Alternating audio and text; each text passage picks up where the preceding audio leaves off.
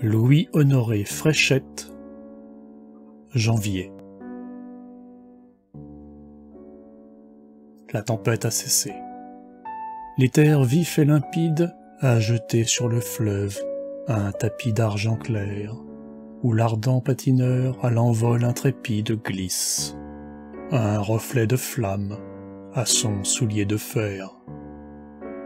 La promeneuse, loin de son boudoir tépide, bravant sous les peaux d'ours les morsures de l'air, au son des grelots d'or de son cheval rapide, à nos yeux éblouis, passe comme un éclair. Et puis, pendant les nuits froidement idéales, quand au soleil des lambeaux d'aurore boréale battent de l'aile ainsi que d'étranges oiseaux, dans les salons ambrés, nouveaux temples d'idoles, aux accords de l'orchestre, au feu des girandoles, le quadrille joyeux déroule ses réseaux.